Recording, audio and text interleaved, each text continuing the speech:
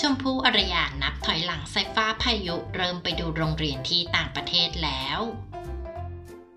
ชมพู่อรยาเคยให้สัมภาษณ์ว่าคุณสามีอย่างน็อตวิสรุตนั้นได้วางแผนการศึกษาเอาไว้ให้ลูกชายอย่างไซฟ้าพายุเรียบร้อยแล้วว่า เมื่อเริ่มโตจะส่งให้ไปเรียนต่อที่ต่างประเทศ และล่าสุดท่าทางว่าอีกไม่นานก็จะถึงเวลาที่น้องสายฟ้า น้องพายุจะได้เผชิญโลกกว้างแล้วล่ะค่ะหลังแม่ชมนั้นได้เผยภาพคุณพ่อจูงมือลูกชายทั้งสองคนไปดูสถานที่ต่างๆ เช่น โรงเรียนและถนนหนทาง เตรียมความพร้อมในการใช้ชีวิตเมื่อต้องเดินทางมาร่ำเรียนต่อ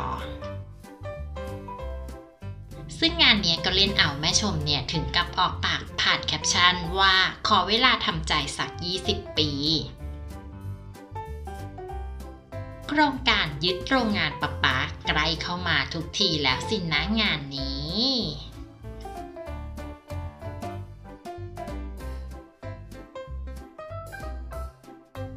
และเพื่อที่จะไม่พลาดคลิปใหม่ๆอย่าลืมกดติดตามค่ะ